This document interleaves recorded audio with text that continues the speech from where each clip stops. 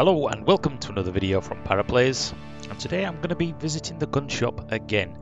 It seems quite a few people on my channel have been asking me if I'm going to be doing some more airsoft videos as you seem to be quite interested in the whole aspect of milsim and skirmishing and what's involved in actually getting into airsoft. So I'm going to be documenting quite a few things over the next month or two including some skirmish matches and a little bit of objective based based gameplay coming this week. But in this video, I'm going to be going back to the gun shop patrol base to get my M4 Amoeba chronoed. For those of you who are not quite sure what that means, it means they can check how many joules I'm actually firing these pellets at, and I need to make sure that I'm within legal range, which is currently 350 on burst fire. So if my weapon is under this or it's too hot, these guys can adjust it with springs and I'll show you the whole process of what they did to my M4 to make it legal. So let's jump onto the range, get it chronoed and find out whether I need a new spring or whether it needs reducing.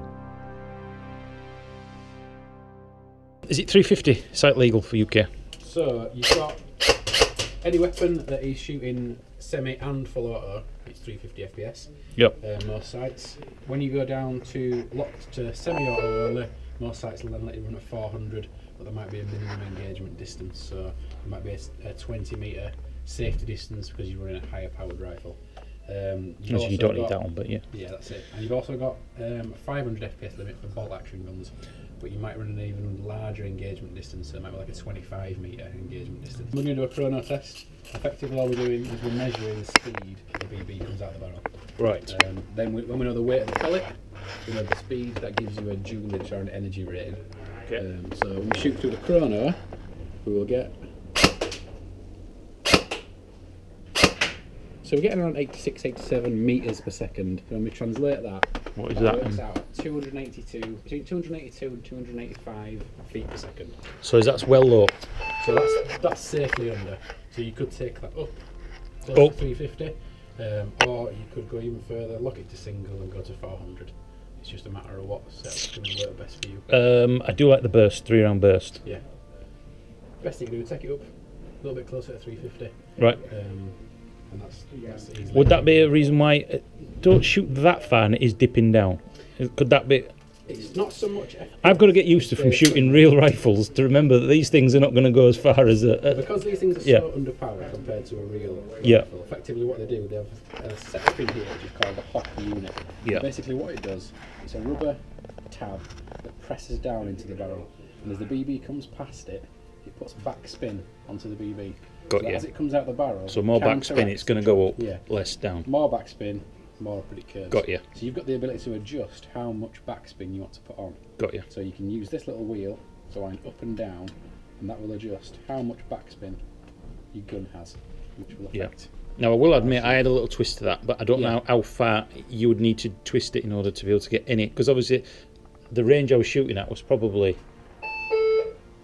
half Similar this half that. this length again, maybe, and it was definitely curving down quite a lot. As you rotate the wheel down, Yeah. it increases the hop up on this model. How much is it? Like one full rotation? I mean, I was moving it just like a little.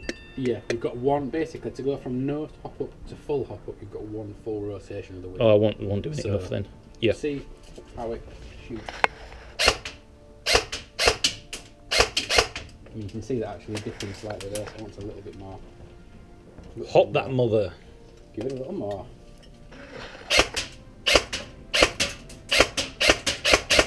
Yeah, that's better.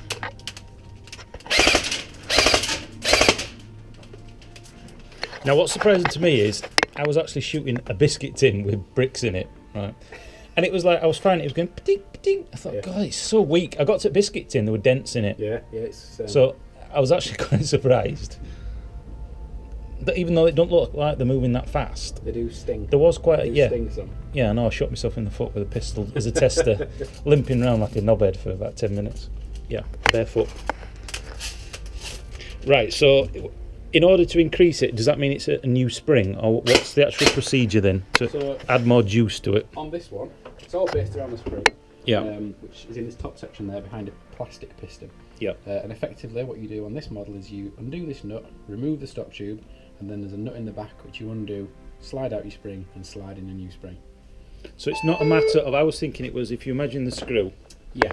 I was imagining it was almost like you would turn one end, you know, to, Ah, to, to add no, more no. tension. It doesn't work like no, that. no, it's, it's basically there's a piston at the front. Yeah. And then there's a spring behind, and as the gearbox rotates, it pulls the piston back and releases it backwards and Got forwards. So, so these are the springs, and as you can see, there is the rating on here. So it's probably going to be a 90 or possibly a 110, but trimmed down a little bit so that we can get to that magic 350. Really simple on the quick change spring models. All we have to do, pull off stock. And these are similar in assembly to a proper AR. So undo the back nut and that will allow us to undo the stock tube. Just making sure that keep the wire out of the way. And that whole thing, that whole thing will unscrew. And that then gives us access to the back of the gearbox. But if you can help, that's great. I've got Mr. Townend out there, I've been waiting Cool. very long So, time for his all we have to do- a little bit. So James has just said, cannibalise the parts from this, and then we'll repair uh, this one as and when we can. Undo that, and it gives us access to a little uh, Allen key Dave's just got there. okay, in the back. Turn, and that brings out Got you. guide rod and the spring. So that's the stock spring. That's doing about 280, 290 feet per second at the moment. It's quite easy to compress. So we'll change that out to a heavier duty spring. To the beast. We'll pop the beast in and see what that gives us. Half turn. And there we go. We'll do a re-chrono now. And see. It might be a little bit warm, but we'll have a look. Yes, we are. Currently, that's given us 403. Is that slightly over then? Just over. so we have to trim it a little. As you can see, I was actually advised that the spring needs trimming in order to get that down to legal because I wanted to use three round bursts. Not the most complicated of procedures, but it's certainly something that I couldn't do. So if you're going to get your gun chronoed and you want to go up or down, make sure you go to the gun shop and let them do it properly. Last thing you want to do is damage your beautiful M4 or whatever weapon you've got. Now on screen, I said for a friend of mine, Christiansen, he wanted me to have a look at the grease gun, and here it is. And while it feels great in the hands, certainly didn't really appeal to me. Not my style of weapon. And here we have the Browning high power pistol for Stu, another one of the lads who's quite keen to get into this. He's got real military background, as most of the lads that I uh, hang around with on TeamSpeak and play most of these Milsim games with now. So I can tell you now, Stu, it felt absolutely fantastic. Did this? It was really, really heavy. In fact, it looks chrome, looks the tits as well. Even the magazine or the clip was really heavy, and I was told it was one-to-one weight, one-to-one replica because it was licensed. Here you've got, I think, if I remember rightly, there's this the Smith and Wesson. Um, is it the 58? I can't remember. I don't think it's the uh, Dirty Harry 44 Magnum, but again, just amazing. They feel fantastic, and this is, of course, the infamous Luger. So if you've got a fetish for any type of gun or period of weapon, you can probably get it. And hats up for the first person who can tell me what this is. Old school, you have the opportunity. If you want to get into period stuff, they even they were telling me they had some is it black powder muskets and things like that. But of course that sort of thing is very niche within an already niche market. The AUG was amazing. I'm probably going to get one of these in the future to go on my gun rack. Brilliant. Felt really, really good. Now, if your budget is a little bit less, as you can see the one on screen there, Stuart in black, this is going to be going for around 180 to 200 pounds. And I was told that if you're into the AK series of guns, there is something in here for everybody. But much unlike just picking a gun and saying, I want this one, I want this one, there are considerations, of course, on whether you go for gas or spring or all electric. But I hope you've enjoyed this video, just a really quick sneaky peek behind the curtain.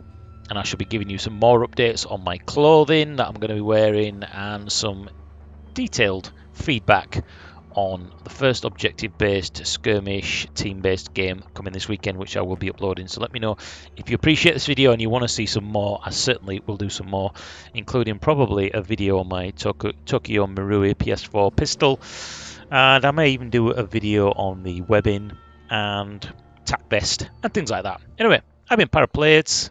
I shall see you in another video going real soon. Thumbs up, subscribe. Can I get to 3,500? Well, I can only ask. Bye bye.